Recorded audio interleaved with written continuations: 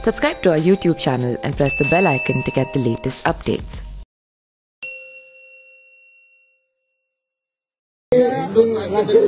वैसे तो फिर आप लोग के भी चालीस के संगठन की सूचियां सब है ज्यादा मुंह मत खुलवा ये तो हमारे पास भी ये सूचिया है सब मुंह मत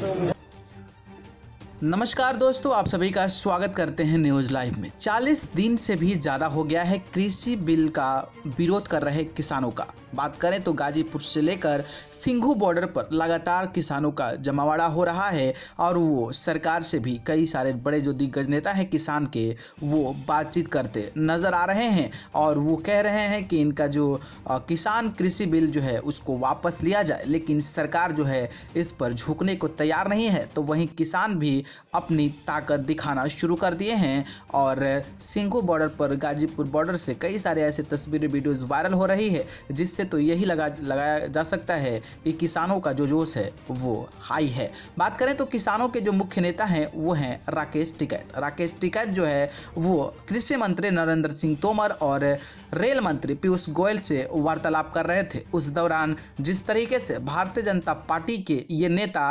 राकेश टिकैत को धमकियाँ देते नज़र आ रहे हैं। ये वीडियो सोशल मीडिया पर वायरल हो गई है। बाकी आप वीडियो खुद देखें और आपकी इस पर क्या राय है कमेंट बॉक्स में हमें ज़रूर बताएँ। धन्यवाद।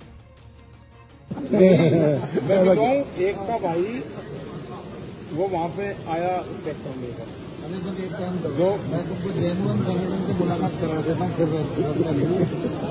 एक हमारे वहाँ भी आया वैसे तो फिर आप लोग के भी चालीस के संगठन की सूचियाँ सब है।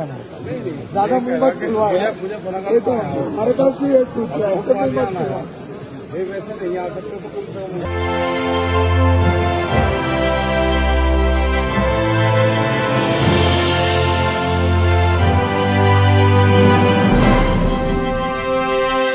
Subscribe to our YouTube channel and press the bell icon to get the latest updates.